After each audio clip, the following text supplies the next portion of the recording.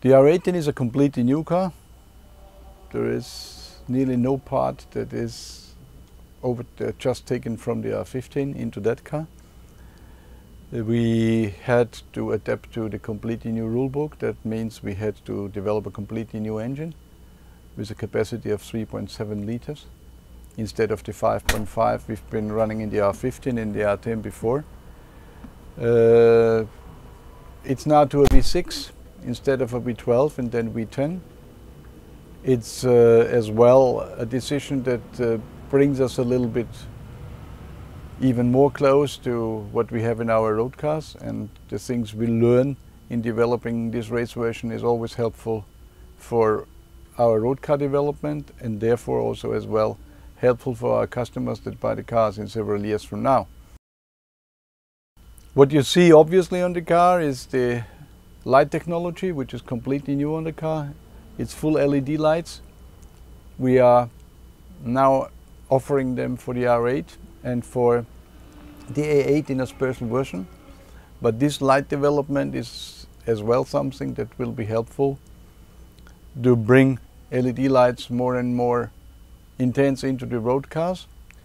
Uh, we did this together with the road car development people for the headlights and therefore again we have a very close link between what we are doing here in motorsports and what we can use for the development of the road cars.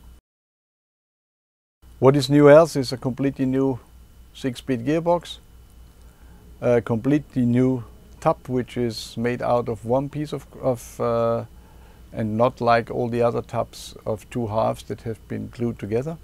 It's a new technology which is even stronger and even lighter.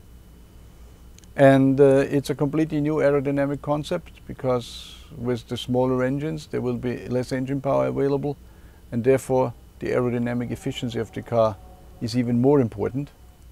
And therefore we worked very hard on being very efficient from the side of aerodynamics so that the car has good downforce and a very low drag.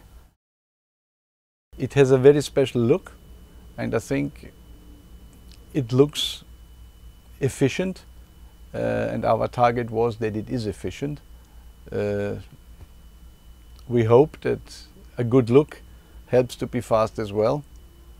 It's difficult to say if automatically a good looking car is fast, but one thing is sure, ugly cars have never been fast.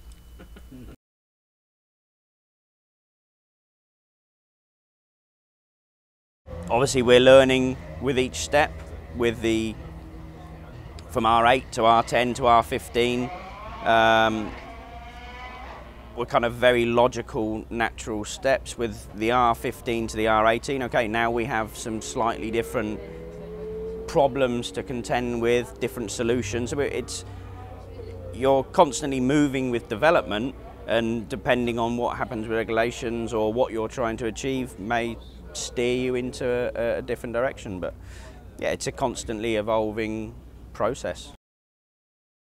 I think it will look pretty good going around the circuit. I'm sure the fans and spectators will like it. And I say, they will either love it or hate it. Um, I don't know what the colour scheme is going to look like yet. I mean, that can have a very big impact on sometimes softening a car down and making it look a bit more friendly, let's say if I had the choice myself, I think I'd like to see it running in the carbon black. I think if you look through history, you'll see that an ugly car is never a fast car. Um, I, and I think when you look at a car and it looks aggressive, it's normally a fast car. And uh, I think if Darth Vader had a car, then this would be his. To win Le Mans, you don't need a hybrid. You need a simple, you need a good working car with no technical problems whatsoever. And if you can do this without a hybrid, you are better off without a hybrid. But if you make an engine like the V6, you don't do it just for one year. Because of the change in size of the engine and everything, we said we need to have now a six-speed gearbox. Torque is getting lower, power generally gets lower, so you need more gears, or the maximum gears. That's why we have now six. The next generation of cars will become even more uh, sophisticated and more complicated because with the fact that you have to use smaller engine displacement and less power, you try to get advantages or you look after advantages everywhere.